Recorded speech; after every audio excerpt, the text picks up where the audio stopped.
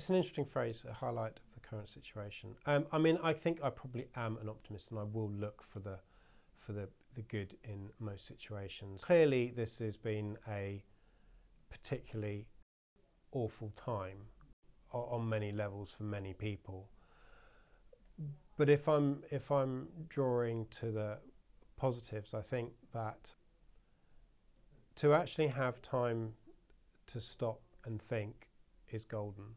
Um, for me personally, like probably many other people, it's school, it's university, it's first jobs, it's building a career, it's starting a business, and at that point your life is pretty hectic. Uh, then followed through, thrown some children, etc., and um, yeah, you, you, you're pretty busy. So it's been a, you know, it's not always easy. I've tried to stay upbeat, and but but really the the, the time to to to really think and reflect on things is very useful. And I think from a business point of view, actually, in a similar way, to to clean up those loose ends and to to really spend time working out what's important and and going back. In many ways, it feels like we're going back in time. We're we're dealing with the smaller teams of people who are in at any any given time and and that's really nice to be able to, to, to do that and to to have the attention and the focus on what really matters, and then you know we can build on that and roll out. So it's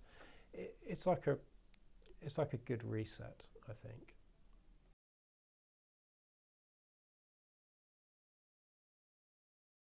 Well, I'm probably reasonably experienced to comment on that. I'm being a modern man. I actually have a 22 year old and a 16 year old son.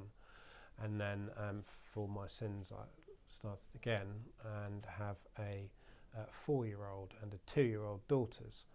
And um, so I've seen the spectrum of the uh, elder 22 year old um, uh, take advantage and, and do different uh, types of jobs and be a bit entrepreneurial uh, in various ways. I've seen the uh, toddlers and uh, I have to say, I think uh, teachers and childcare need to be paid a lot more money. Um, having them around permanently whilst you're trying to uh, work from home is uh, futile, I think is the word. And um, you know, it's it, it's it's lovely having them around and, and you know getting to spend so much more time with them. And you know, they kind of accept the situation, and it, it, there's a there's a clearly a very different home dynamic which needs to be built when everyone's you know there's six people in the home and it's pretty busy there's food shopping is very regular.